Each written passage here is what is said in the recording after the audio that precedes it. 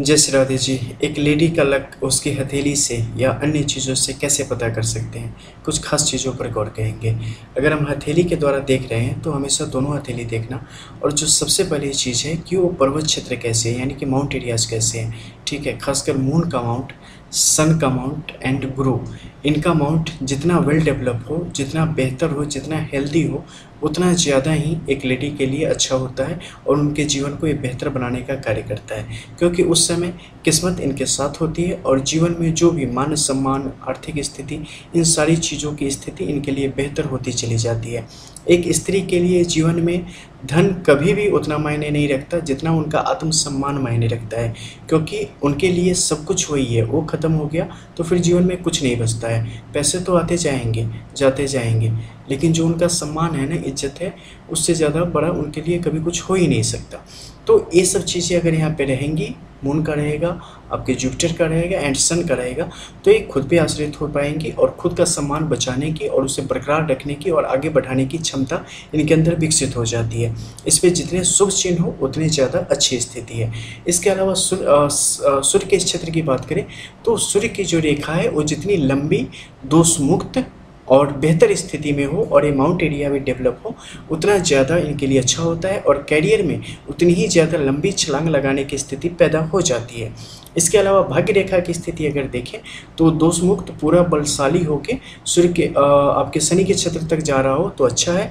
अथवा अगर दोहरी भाग्य रेखा की स्थिति भी अगर स्त्री के हाथों में बनती है तो ये बहुत ही सौभाग्य का सूचक है। ठीक है? इसके अलावा जो रेखाएँ हो, महीन, पतली, लालिमा युक्त और दोष मुक्त हो, ठीक है? यह रेखा बिल्कुल ना हो, जैसे बीच में गैप हो जाती है ना, वैसी सिचुएशन ना हो। विवाह के संबंधित जो चीज़ों को बताने वाली यहाँ पर कुछ सहायक रेखाएँ हैं, उनकी परिस्थिति जितनी सुस्पष्ट और एक से दो तक रेखाएँ अगर हैं तो काफ़ी बेहतर है। ज़्यादा होने पर मुश्किलें बढ़ती हैं। अगर पूरे पाम में कट्स वगैरह बहुत ज़्यादा है ना तो क्या करेंगे, आपके जीवन को उलझा के छोड़ देंगे, ठीक है? इतनी मुश्किल लाएँगे कि पूछो मत, परेशान करके छोड़ देंगे। ये क्षेत्र अगर बहुत ज़्यादा प्रबल हो गया तो ये तो एक दूसरी ही दिशा में लेते चला जाता है और मुश्किल कर देगा, ठीक है? मंगल का क्षेत्र जितना शांत हो निर्मल हो, उतना ज़्यादा आपके लिए बेहतर स्थितियों को पैदा करता है। ए लाइन भूल के भी इस पर ना हो तो आपके लिए ज़्यादा अच्छा है। अथवा अन्यथा एक अलग ही प्रकार की टूट हमेशा आपके अंदर चलती चली होती है।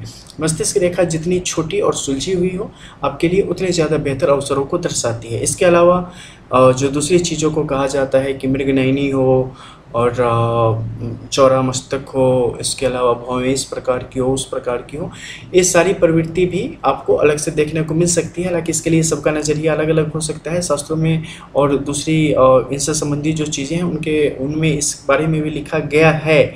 लेकिन ठीक है, ज़्यादा उस पर नहीं जाते।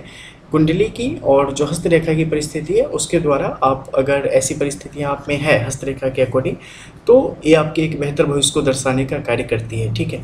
इसके अलावा इन सब के साथ जो एक और चीज़ है, वो है स्माइल आप जितना ज़्यादा खुश रहेंगी, जितना ज़्यादा आप पॉजिटिव सोचेंगी, सकारात्मक अपने आप को बना के रखेंगी, आपके लिए उतना अच्छा होता है। खुद का जितना स्टैंड ले पाएँगी, उतना अच्छा होता है। कंप्रोमाइज़ जैसी चीज़ें अपनी डिक्शनरी से हंड्रेड परसेंट हटा देना आपके लिए ज़्यादा बेहतर होता है, ठीक है?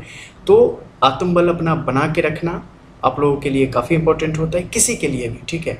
लेकिन जो मैं ये बता रहा हूँ, वो कुछ उन लोगों के लिए भी हैं, जो कि कई दफ़े अपनी आप को समर्पित कर देते हैं या हार जाते हैं। तो वैसी स्थिति में आत्मबल आपके काम आएगा। अदरवाइज़ ये सारी चीज़ें आपके हथेली में हैं तो निश्चित तौर पे एक बेहतर भविष्य को दर्शाने का आपके लिए कार्य करती है। लेडी लक से संबंधित और कई सारी चीज़ें होती हैं, उनके बारे में भी आने वाले वीडियोज़ में आप जानेंगे, जब कई सारी चीज़ों का मैं समावेश करूँगा और उस समय आपको और ज़्यादा अपडेट हो जाएगी चीज़ों के बारे में, ठीक है? मिलते हैं फिर, तब तक के लिए जय श्री राधे।